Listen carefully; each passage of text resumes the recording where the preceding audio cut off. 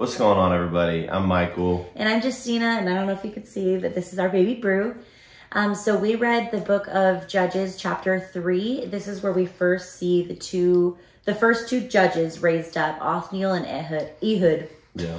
And um, Ehud is the one that is, if you don't remember, plunged the sword into the obese king's belly, and the sword was completely swallowed up This in is that, this is that chapter. That's where we're at in the Bible. yes. Um, so here are just kind of what stood out to us. Yeah. So the first the first word that stood out to us was the word tested, um, and it is that the, the the Lord was intentionally testing the Israelites um, to see if they would walk in obedience with the Lord's commandments, um, and they did not.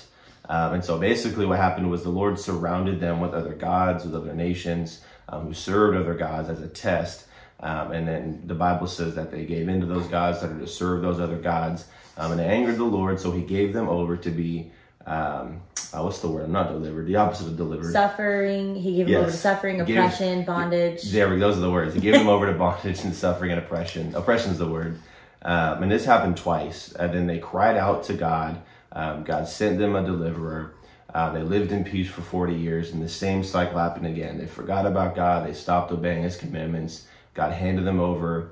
Uh, they were in suffering and bondage. They cried out again. God raised up a new deliverer for them, another Yep. judge, um, and so on and so forth. And so until the judges died, and then the cycle would repeat itself. Yeah, and so here's what's fascinating is I we we both agree that that's the same thing that happens today. Yeah. uh, we live in a culture where we are surrounded by other gods, um, Idols. other cultures, idols, things that are in direct opposition to what God says. Yeah. Um, a few things that jump out of my mind. I pick up this binky for the baby. Um, a few things that come to my mind. So we just went through June, right? Uh, Pride Month. Um, the LGBTQ community they serve another god. Um, sex, culture, politics, New Age. There's all these are are different examples of the idols and gods that we're surrounded by that we are being tested with to see if we're going to obey the Lord or if we're going to obey another god.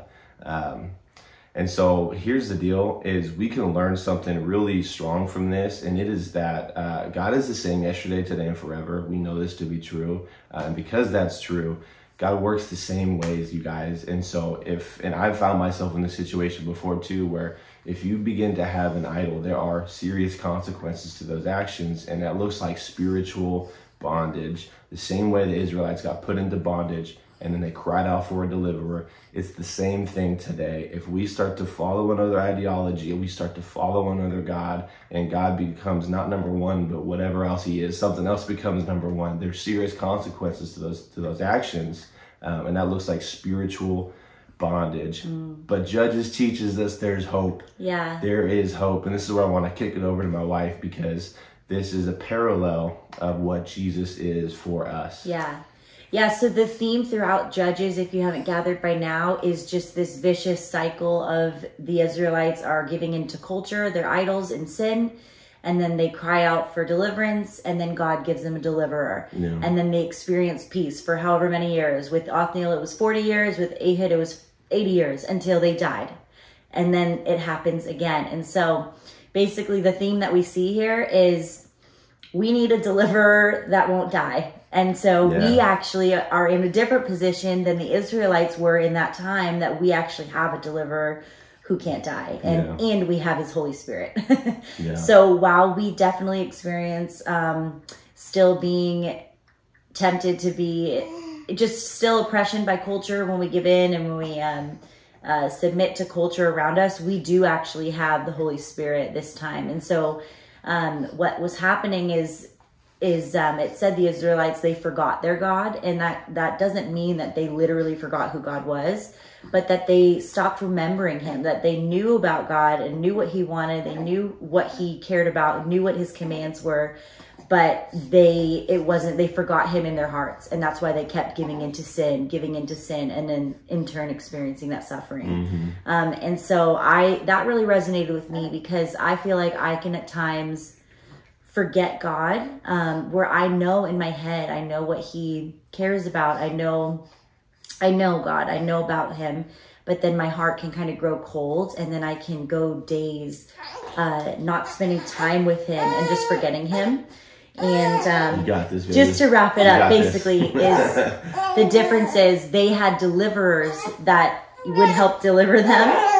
And then when those deliverers died, they forgot again. And we don't have to continue to forget because we have the Holy Spirit. Because, Yeah, because of what Jesus did. Amen. And lastly, let me jump yeah, in go here. ahead. Joel, Joel 232 foreshadows a time when Yeah. we will have a deliverer. And, and, it, and it prophesies to Jesus saying, anybody who calls in the name of the Lord shall be delivered. And that's our hope.